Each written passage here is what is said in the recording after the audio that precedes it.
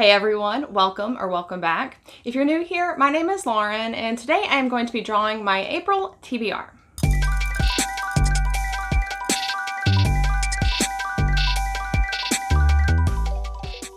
So if this is your first TBR video with me, how this normally works is that each month I draw three books. I draw them out of my TBR star jars. I have three jars here. They are filled with little origami stars that I have folded up out of paper.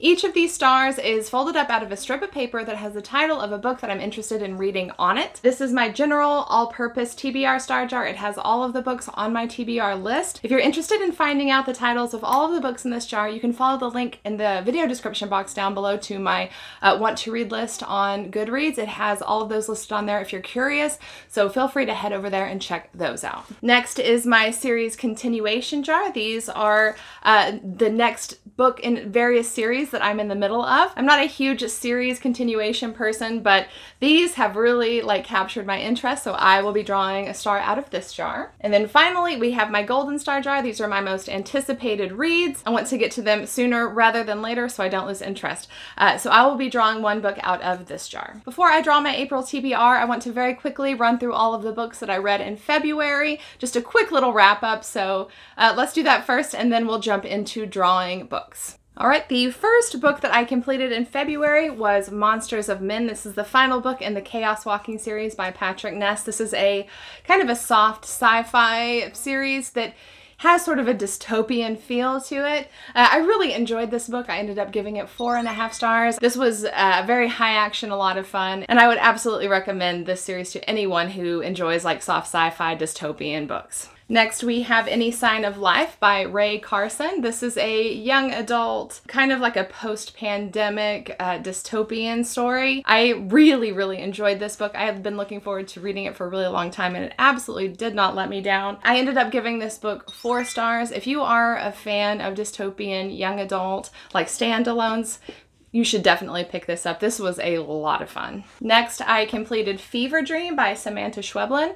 Uh, this was sort of a mind-bending, like, literary novel, I guess, or novella, really. This is a very, very short little story. This was okay. Uh, this, I think my expectations might have been a little bit too high. A lot of people talk about this book being very, like, sort of unsettling, disturbing, kind of horror-ish. It just wasn't for me. That's just a matter of perspective. You might feel that way about this book, but for me, it was really just okay. Next, Next, I completed Sleepwalking Volume 3 in the Nightmareland Chronicles series. I absolutely adore this series. This is a horror series set in a world where the sun has vanished and everyone is sort of like, seems to be sort of going mad. I absolutely love this installment of it. I ended up giving it five stars and would 100% recommend this series to anyone who likes horror. Next we have Rainbow in the Dark by Sean McGinty. This is another uh, young adult uh, young adult novel, which I would say this is a very like literary story. It has very heavy themes in it, though it does almost feel like maybe a SFF, but I think ultimately just a mind-bending literary novel. This really took me by surprise. I thought I might like it, but I really loved it. I also ended up giving this this book five stars. I am hard pressed to find anything wrong with it. This was excellent. Uh, if you like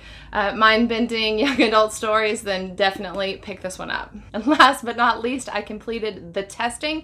It is the first, uh, the first book in, I think it's just called The Testing Trilogy. It's a young adult dystopian series, very similar to like the Hunger Games or the Divergent series, uh, although just not as memorable. I ended up giving it three stars. It was a fun time while I read it, but I am already forgetting what it was about, but still I would say a worthwhile read if you like those types of books. So those are just my quick thoughts and ratings for these books, but if you are interested in learning more about them or why I gave them the ratings that I did, feel free to head over to my Goodreads page. I have handwritten uh, reviews for all of those, so if you're curious, go feel free to go over there and check those out. All right, so I think that is it as far as my February wrap up goes. Let's just jump right in and draw some books for my April TBR. All right, so first up is a star from my all-purpose purpose TBR star jar.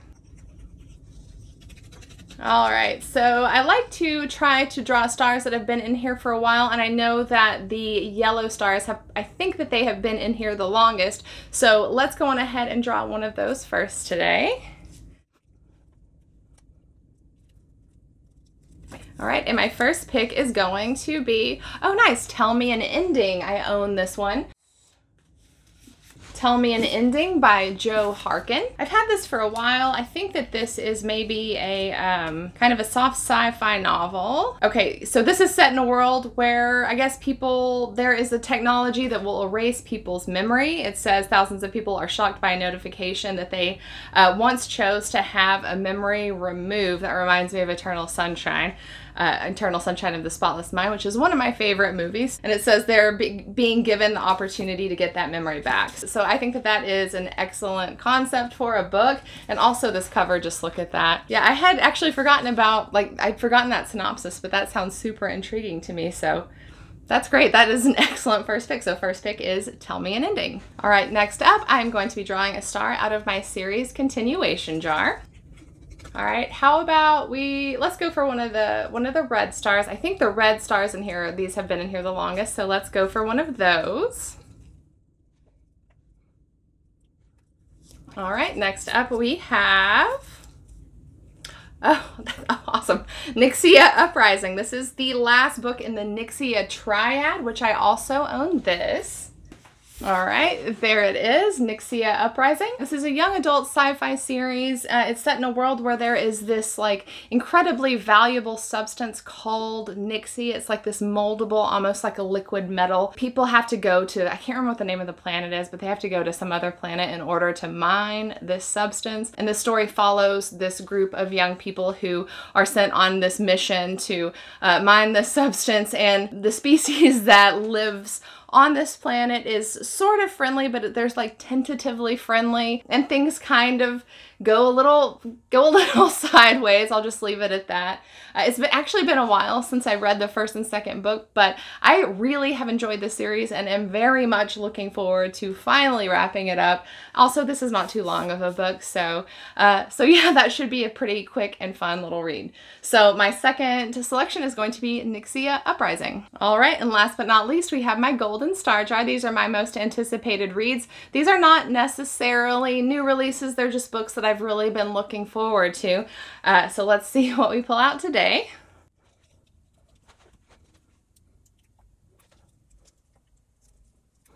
All right, and it looks like we have, oh nice, Goblin by Josh Malerman. Also own this one. This is, Josh Malerman is definitely like become, very quickly becoming one of my favorite modern authors. Uh, and this I think is a, uh, like a short story collection, like a horror short story collection. And I'm pretty sure um, it's called Goblin because all of these short stories are are set in sort of a small town called Goblin. I'm guessing that since these stories are set, they're all set in this small town. Um, I'm guessing it's kind of almost like a haunted small town sort of idea, like like the book It or whatever. Like maybe um, a small town that like something has possessed it or like crazy un unexplainable things keep happening there perhaps. Uh, I do really, really like that concept and have lately very much been enjoying short story collections. I haven't read a ton of them still, but have really been getting into them more and more lately. I do love the way that Josh Malerman writes, so uh, so hopefully this will be a winner for me. So uh, my final pick is going to be Goblin. All right, and last but not least, I'm going to be reading a book for the Buzzword Challenge. The book that I have selected for April is Nothing But the Rain. I'm pretty sure the prompt is nature words, uh, and rain, that's a thing that happens in nature, so that's why I picked this also. It's teensy tiny. This, I think it is set in a town that um, it just rains all the time and the rain it's been happening for as long as anyone can remember. It never stops. And i think it's like the longer it rains like it's washing people's memories away or something like that. I think this is kind of literary and has some like very like deep like heady themes in it. It seems to have very very good ratings so i think that it should be a pretty good pick for the buzzword challenge in april all right, so I think that that is going to be it. This is everything that I am going to be reading in the month of April. I would be very curious to know if you have read any of these books and what you thought about them. Also, if you're planning on reading anything particularly interesting that you're excited about, I would love to talk to you about it in the comments down below. If you enjoyed this video, I hope that you will like it and possibly subscribe, and I will see you next time. Bye.